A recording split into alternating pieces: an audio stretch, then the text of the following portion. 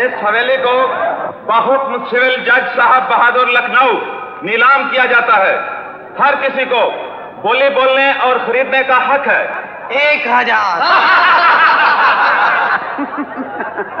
साहिबान इस हवेली की बोली अदालत की तरफ़ से तीन लाख मुकर हुई है। इससे कम की बोली नहीं मानी जाएगी। बोलिए तीन लाख से ऊपर बोलिए। बोलिए बोलिए साहिबान तीन लाख। तीन लाख एक हज़ार। तीन लाख पाँच हज़ार। तीन लाख छह हज़ार। तीन लाख पंद्रह हज़ार। तीन लाख बीस हज़ार। तीन लाख इक्कीस हज़ार। तीन लाख चौबीस हज़ार।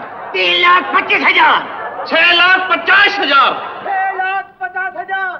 बोलिए साहिबान पर चढ़कर छह लाख पचास हज़ार सात लाख बीस हज़ार सात लाख बीस हज़ार सात लाख बीस हज़ार मेरे अल्लाह जिस खानदान पर आज तक तेरी रहमतों का साया था जिसे आज तक तू रसवाई से बचाता रहा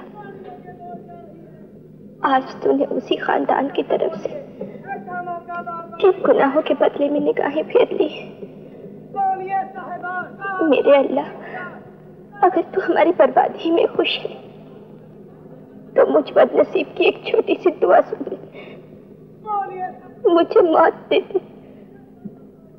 मैं अपनी आँखों से, अपने खानदान के साथ साथ, अपने भाईजान की जिल्लत और रसोई का तमाशा नहीं देख सकती।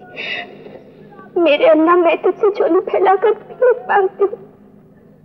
मुझे मौत दे दे। आठ लाख पच्चीस हज़ार, आठ लाख पच्चीस हज़ार एक, आठ लाख पच्चीस हज़ार दो। आठ लाख पच्चीस हज़ार। बोलिए, मुँह क्या देखते हो? ऐसी शानदार हवेली तुम्हें बार बार नहीं मिलेगी।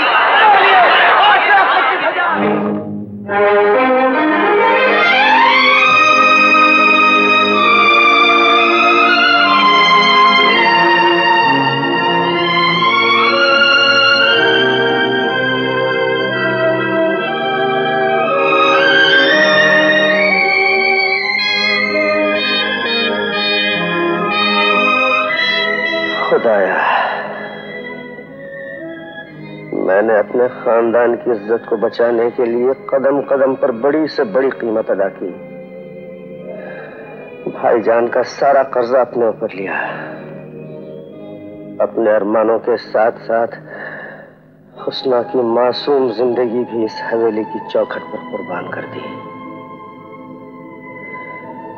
लेकिन आज एक दिन आप अपनी बेटी की खुशियों के लिए उसकी मोहब्बत खरीदना चाहती थी। आज मैं अपने आप को बेचने आया हूँ। मुँह मांगे दाम भी लेंगे। कहिए क्या कीमत होगी? शर्माइए नहीं मोहब्बत का सौदा है। दाम सोच समझ के जी खोल के मांगिए। हमारे जैसा खरीदार किस्मत से मिलता है। मुझे दस लाख रुपए की ज़रूरत है। बस सिर्फ़ दस लाख। मालूम होता है आपको अपनी कीमत नहीं मालूम। दाम बढ़ा के मांगिए। जी नहीं मुझे सिर्फ़ दस लाख चाहिए। आपकी मर्ज़ी लेकिन रुपए देने से पहले मैं ये चाहती हूँ कि आप मुझे यकीन दिलाएँ। आप इतमान रखें। मैं कुछ देर के बाद वापस आ जाऊँगा। और फिर आपकी चौकट पे गुलाम की तरह ज़िंदगी गुजार दूँगा। बेटा कैसी गैरों जैसी बातें करते हो। तुम तो इस रौनक महल में दूल्हा बनकर आओगे और मालिक बनकर रहोगे खुदा तुम दोनों को लाखों बरस की ज़िंदगी दे।